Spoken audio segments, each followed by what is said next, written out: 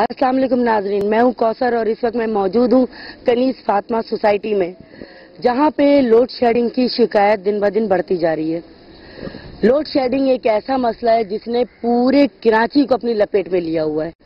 Load shedding की वजह से ना ही दफ्तर जाने वाले मुलाजमीन कपड़े इस्त्री कर पाते हैं वक्त पे, ना बच्चे पढ़ाई कर पाते हैं, ना घर में रहने वाली खातन अंधेरे में खाना पका पाती हैं, कोई काम नहीं हो पाता है।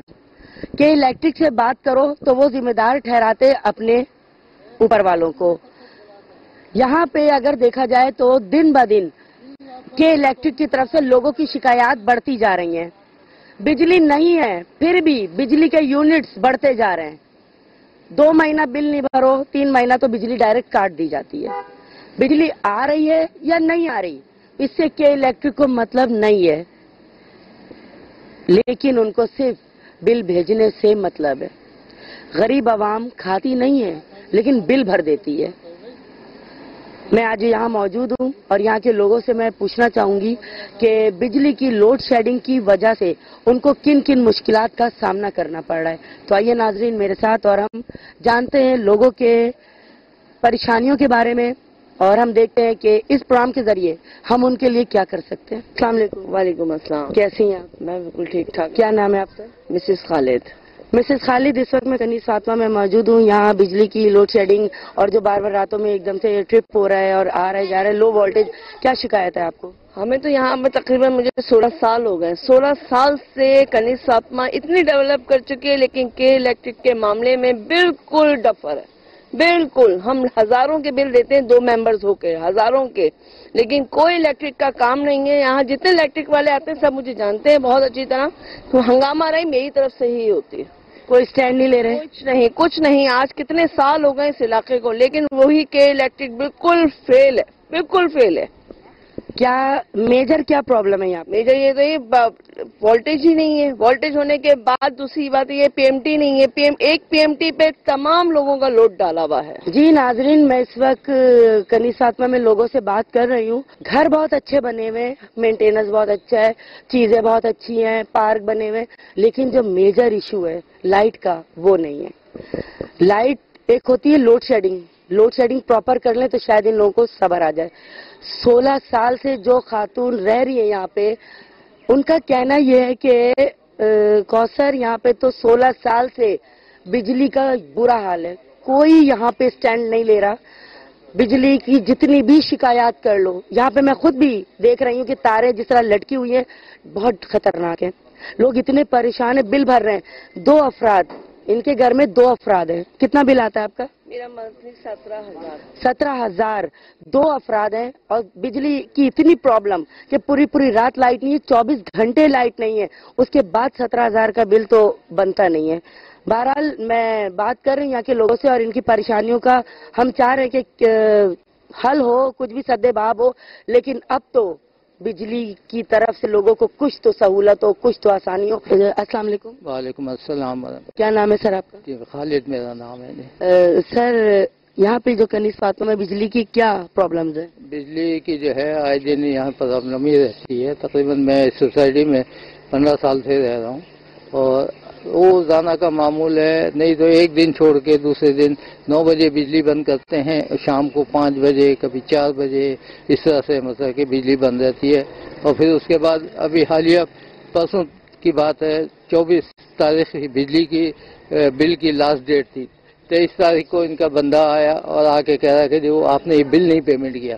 बोला भाई आपको आपको क्या पता अभी तो डेट बाकी है अभी तो बिल पेमेंट किया नहीं किया नहीं। मेरे पास मतलब ये रसीद है मैं बिल लाइन काटने के लिए आया हूँ आप किस बात की रसीद है? जबकि अभी ड्यू डेट भी नहीं आई। अभी ड्यू डेट भी नहीं खत्म हुई तो मैंने उससे यही कहा कि आपको ये ड्यू डेट भी अभी आपकी खत्म नहीं हुई। आप ये किस किस्म की बात कर रहे हैं आप मेरे से?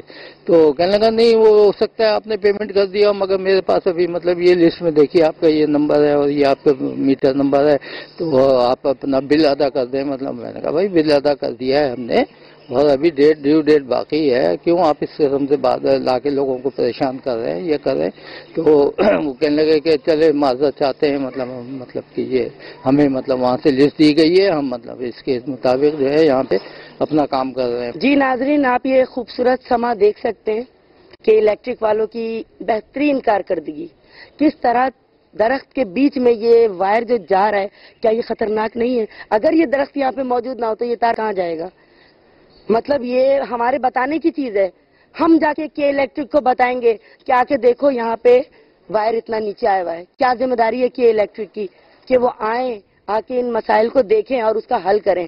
16 साल, लोगों का कहना है 16 साल से हम यहाँ रह रहे हैं और हम के इलेक्ट्रिक से शिकायत कर रहे हैं और उनका कोई सद्देबाब नहीं हो रहा।